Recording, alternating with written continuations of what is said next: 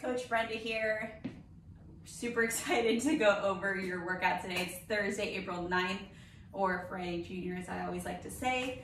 Um, but before the workout, we got to go over the challenge of the day. Challenge of the day is going to be I want you to get dressed up in an outfit that you feel most confident in, and not just dressed up, but do your hair, put on your face, guys, same thing.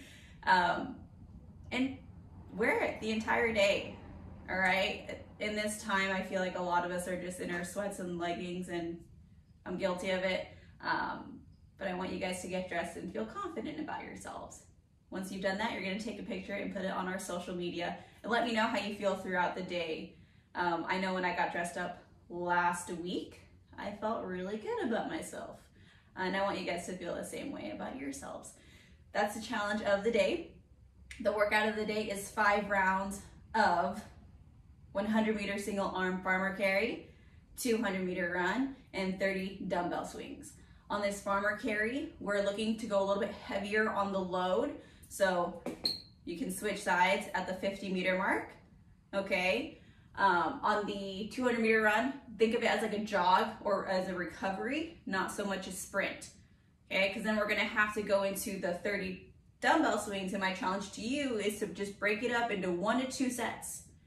Okay, no more than that. So picking a weight where we feel confident enough to do that.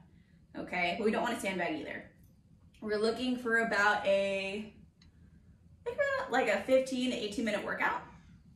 Okay, so that's the workout for today. Uh, but we do have modifications. So for the farmer carry, if you don't have a dumbbell, you're going to use an odd object. If you don't have a place to walk to or carry to, and you have a box or a chair or something stable, you're gonna go ahead and give me 50 step ups. You can do it with the object or without, um, as long as you keep moving, I don't mind. Or if you don't have a box or either, I want you to do reverse lunges, 50 of them as well. All right, now for the run, if you don't have a place to run or it's a very small space, I want you to give me 20, 10 meter down and back, so that's 32 feet. Um, yeah, 20 10 meter down and backs. Uh, if you don't have that, you're gonna go ahead and give me 50 mountain climbers. If you're fortunate enough to have a rower or a bike, 200 meter row, uh, 10 to 12 calories on the bike. 10 for the ladies, 12 for the guys. All right, then we go into the dumbbell swings. If you don't have a dumbbell, you're gonna use an odd object. And if you don't feel comfortable swinging, I want you to do some good mornings. Same amount of reps. All right, now let's get into movement standards. Okay, so the farmer carry, shoulders back and down, right? Walk in, we're walking, we're switching, and we're still walking, but I'm squeezing my core down, I'm squeezing my glutes. All right, so that's the farmer carry.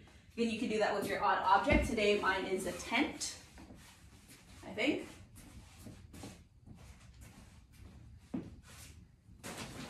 right, that's for the farmer carry the run, right? We're running, um, rowing, biking, or mountain climbing. I'm just kidding. It doesn't look like that. It looks like this.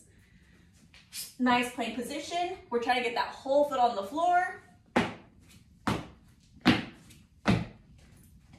50 of those. One, two, three, four, five. That's gonna be fun. and then uh, the dumbbell swings. On these, nice soft knees, right? We're gonna send those hips back. We're gonna drive our hips as aggressively as we can forward. As soon as we extend those hips, we're gonna pull up or guide that bell up. All right? And then what's that?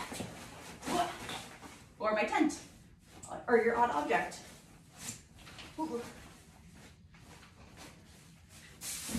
All the hair, okay? So that's the dumbbell swing. That's it. Let's get warmed up. We're gonna do five rounds of five baby makers, 100 meter jog, and 15 dumbbell deadlifts. So baby makers, Get your feet into an air squat stance. Touch your toes with nice soft knees. We're gonna squat down, push those knees out with your elbows, keep that chest up, drive those hips up. Five of those, 100 meter jog, or a Simon shuffle. Ooh. and then um, 15 dumbbell deadlifts. So this is where we get to really warm up that hip hinge. Squeezing through and focusing on that core engagement. All right. I hope you guys have a fun one today and have a great Thursday. I can't wait to see your guys' pictures.